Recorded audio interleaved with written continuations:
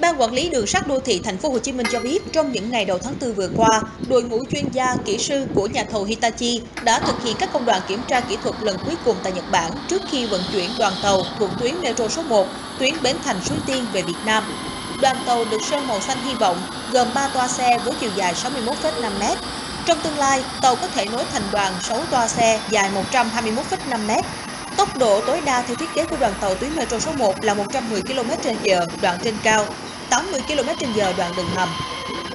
Đoàn tàu 3 toa có thể vận chuyển tổng cộng 930 hành khách, trong đó có 147 khách ngồi và 783 khách đứng.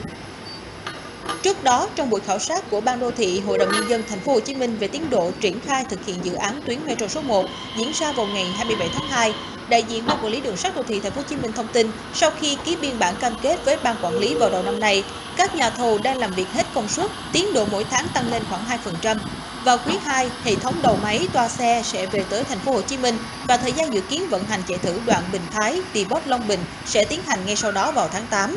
Tuy nhiên, hiện nay trước tình hình diễn biến phức tạp của dịch bệnh COVID-19 và theo quy định của chính phủ Nhật Bản nơi sản xuất đoàn tàu cũng như quy định của chính phủ Việt Nam, các chuyên gia Nhật Bản tạm thời chưa được phép nhập cảnh vào Việt Nam.